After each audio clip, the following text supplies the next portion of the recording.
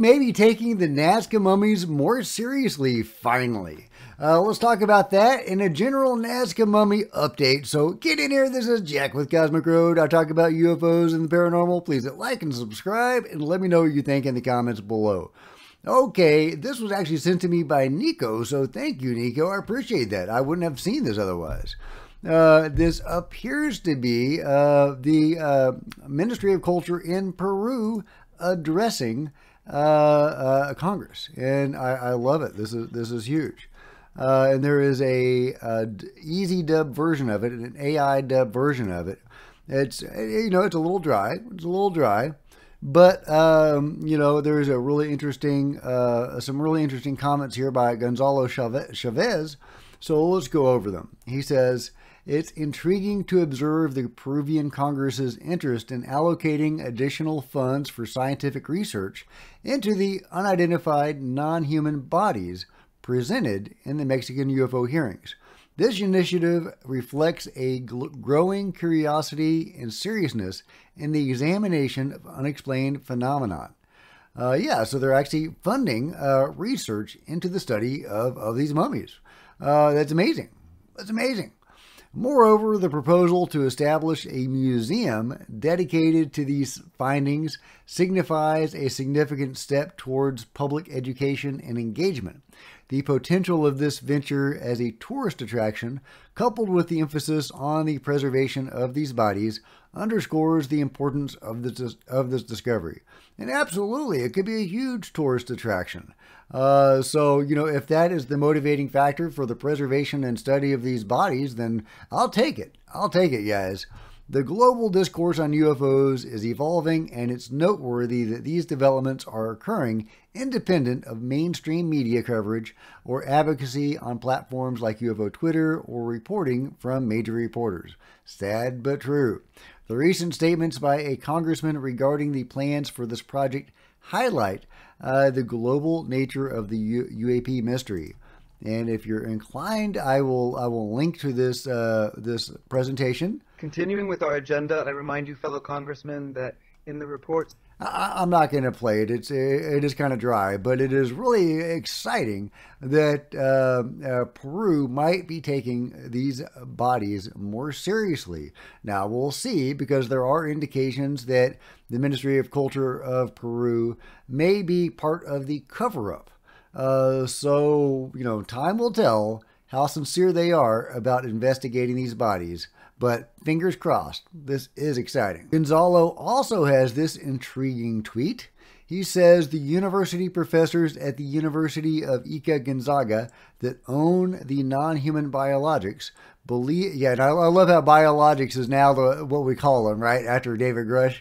Um, uh, that own the non human biologics believe they are an intelligent Earth based species, more than likely subterranean in the intelligent evolution of the reptile.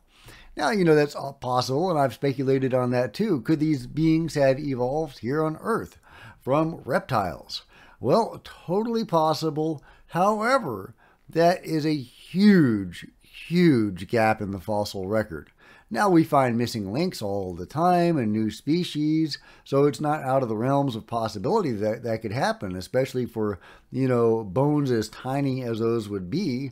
Uh, you know, how long would those last? How many of them would be found, uh, etc. But still, that's a massive, massive gap in the fossil record. So I tend not to believe that. I believe these are, um, you know, alien hybrids or created by non-humans.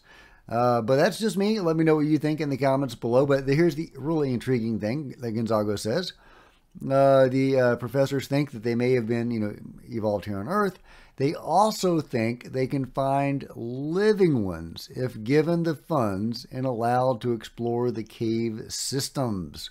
Wow, so there could be some scientists exploring caves looking for aliens or it could just all be a ploy to get some funding. I, I, don't know. It's early days yet. It's early days, but I mean, there's going to be hopefully some movies based on scientists looking for aliens in caves. Uh, I, ticket sold right here, guys. Ticket sold, but even better if it is a documentary about scientists actually finding these beings. And here's uh, an interesting segment about uh, what they have to say, uh, what, what the findings are for the substance coating many of these bodies. We have found cadmium chloride on the surface of these specimens. Actually, the specimens were obviously covered with cadmium chloride and diatomaceous earth. As far as I understand, cadmium chloride is not found at all in nature. It needs to be acidized, extracted, then transformed into a soluble form into cadmium chloride. It also needs to be purified for sure. It is a complicated procedure. We have found cadmium. So there is a complicated procedure. Uh, you know, so if they were evolved reptiles here on Earth, they would have to be highly, highly technological. And again, we would probably see signs of that technology uh, going back through history. Now, maybe that was covered up. Uh, always possible, always possible. But again, I lean toward a more, uh, you know, non-Earth based uh, solution to the mystery. And here's Terry Jamin talking about uh, uh, information from Mario, the Tomb Raider, uh, who may have found a three eyed uh, skull. That's pretty cool. I want to see it. I want to see it, Mario. I tend to trust Mario a lot more than I do Paul, the other Tomb Raider. Uh, remember that crazy video I showed you with the you know fighting mantis beings and stuff like that? Now, that's an awfully elaborate hoax for a Tomb Raider to do. If that was a hoax and they weren't really fighting Mantis people, which, you know, seems unlikely, um, then that seems to have been, would have had to have been a funded hoax. Maybe a deliberate piece of dis- disinformation put out by the Ministry of Culture of Peru. Possibly. Just throwing that out there. I don't see any other likely explanation for Paul uh, the Tomb Raider, if that's who created that video, uh, to have uh, put that out there. You know, you know, because that throws everything in that video into question, right? Uh, including the pyramid and the crazy handbag. Um, you know, again, I don't think he would have fabricated that handbag or even that pyramid. Uh, could it have been something the Ministry of Culture of Peru had lying around? Uh, and they they wanted to include in this disinformation video. Uh, you know, so I don't know. You know, it's almost it's almost more likely to think that that video was legit. Uh, but uh, that was a crazy video, guys. If you haven't seen that video, go check it out. Tomb Raiders finding living beings in these tombs, or a tomb, were uh, the, the Nazca mummies uh, were found, supposedly, and even fighting one of them. Crazy. Uh, again, it it's probably fake, but if it was fake, who faked it and why? Because uh, it would have taken some money to, to put that together. Um, you know, and, and, what would be the intent? What would be the purpose? I, I, I, don't get it. I don't get that hoax. If that's what it was, I, I somebody explain that to me. But I tend to trust Mario uh, in his information. So um, he's the one that's provided most of the, the bodies, as far as I understand it, to Thierry Jamin after Thierry had a falling out with Paul because of his dramatic tendencies. And I think that probably means uh, there was some BS in what Paul was, was doing. Okay, this is subtitles, so I will read it out loud. Uh, is surely within their inhabitants. It is a hypothesis. And another, Stephanie, are you certain there are other uncovered rooms and that the carrion geese? Oh my God. Okay, the the the the, the, the translation is so bad. Uh, and the the presumed site and not elsewhere on one or more sites not necessarily in the same sector, then according to what these geese Gaillard told us, in this particular Mario told us that there was one side of the second sarcophagus, three doors which are still sealed closed, and to this day they had not dared to open its doors because, he said, they spotted a kind of stone which seems to protrude from the ceiling and which could perhaps be a security system, etc. So they have not yet explored the whole site. Far from it, they tell me they only touched because perhaps barely 10% of this famous site. Did they find these relics on the alleged site? At least that's what he tells me. And I don't see uh, why not, why, why we should question there. Uh, yeah, especially since Mario explained to me that they have been coming for 10 years uh, since 2006. He had already met Uh, it's a sacred place of the Incas on the coast inside which he had found a hand of three must not put 51 species of humanoid skull head with three eyes. This material has unfortunately been sold uh, 10 years ago. Uh, but yeah, so uh, apparently some private collector uh, has a three eyed skull that may in fact be a genuine non human skull. So, I mean, it'd be lovely if the private collector, at the very least, would allow scientists to study it and would release some pictures and videos of this amazing artifact to determine if it is legitimate or not. Because, uh, yeah, three eyed skull, guys, it's, it's pretty juicy. That's pretty juicy. I wonder what it sold for. Do you think that's a legit skull or not? I don't know, but it's pretty cool. In other news, possibly related to the Nazca mummies, a weird uh, stone cube has been found in Peru with some very interesting writing on it. Check this out, guys. Uh, look at that crazy writing on this crazy stone. We don't know what the writing is. It resembles uh, some writing from Puma Punka. Uh, I mean, that closely resembles that, right? Uh, so, um, you know, what, what does it mean? What, what is the purpose of this cube? We don't know.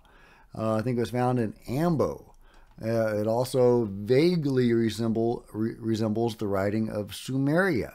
So let me know what you think about this crazy cube that was found um, in that region. And uh, Wanto Cave, Ambo, where the clay cube with unknown writing was supposedly discovered. That's that's a good map. That's the entrance. And that's the extant bats. Uh, so a map of one of these caves. Fascinating, guys. I, I would love to explore one of these caves. Wouldn't that be cool? Wouldn't that be cool? Uh, yeah. Oh, and here's a good reminder there are ritual dolls. You know, uh, a lot of people like to debunk the mummies as ritual dolls called, cobbled together from body parts. Um, well, there are ritual dolls, and that's what they look like. This fella here. Um, it looks to me like that's a representation of the real thing, uh, this fella right here. So, uh, but, you know, let me know what you think. Meanwhile, Neil deGrasse Tyson seems to be slowly, possibly coming around uh, to the reality of the Nazca beings. Is there evidence that there are aliens? No, there's no, not evidence that would convince a skeptical scientist. No. Okay. No, there are people holding their hand up, swearing to tell the truth in Congress. Yes. That's not how we establish objective truths in science. we don't walk into a scientific conference and say, "I swear this is true." But give me, give me a book I can swear on. That's not how we do this. You bring out the evidence. But they did this in Mexico. They brought it, put the aliens on display in Congress if we have aliens, yes. that's what they should do if they're trying to say we've got them in a locked box. Now, in Mexico, the next step is you take tissue samples and send it to other labs. Yeah. It's not just because one person and one lab says something is true. That's not what establishes the moving frontier of the objective truths of science. Listen, so, any I... scientist who looks at the universe, they say, this yeah, okay, so there, there he goes. An unfortunate uh, uh, screen grab of Neil. Uh, but he seems to be holding the Mexican UFO hearing up as an example of what the U.S. should do. He's not deriding it, he's not eye rolling it, he's not sneering at it. He's saying that's a great example, and now we need more research done on these beings. Uh, I'm encouraged by this interview, but let me know what you think in the comments below. This apparently did come out of the Japanese hearing. I think that is what I have heard. I have not seen that confirmed. Um, you know, they didn't, I mean, there's no other information about them uh, discussing the mummies, so I don't know uh, how they would have slipped that in, but um, th- that is what I have heard that this, this uh, scan came from uh, the Japanese UFO uh, hearing uh, or the researchers that were part of it. So well, that's pretty cool. That's pretty cool. I got, I got, I got to say that that's pretty cool. Uh, yeah, neat. Love it. Love it. So yeah, the stuff is going on, and we are going to get some answers on these most amazing uh, specimens, and that may in fact constitute UFO disclosure. I, I love it, guys. This is, this is such a huge story. It needs to get way more play than it is getting. So share this video, and I hope you guys are having a great holiday season and that you had a great Christmas. If you celebrate Christmas, please give me a big thumbs up. I sure appreciate it. Oh, and uh, give a, a, like to these sites that are sharing this information because not enough of uh, people are sharing this information. Uh, Tridactyls is the one channel that's sharing this, and Nazca Mummies is another channel. And as we just saw, uh, Gonzago is also uh, uh, on this. So um, yeah, so so three people to keep an eye on, and uh, thank you very much, Nico, uh, for sharing uh, Gonzago with me because I hadn't seen him before. Uh, but yeah, like, subscribe, uh, smash the uh, bell to be notified of future videos. Buy some merch at the merch store. Become a channel member because channel members are rock stars, and I really appreciate you guys' support, guys. Thank you. Meanwhile, there are plenty of other videos to check out on the channel, and I'll see you guys next time. This is Jack with Cosmic Road signing out.